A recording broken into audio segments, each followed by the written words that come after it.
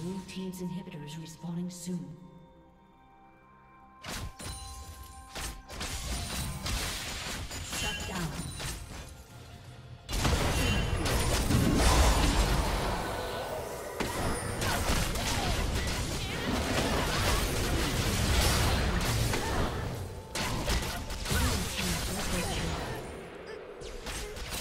Yeah.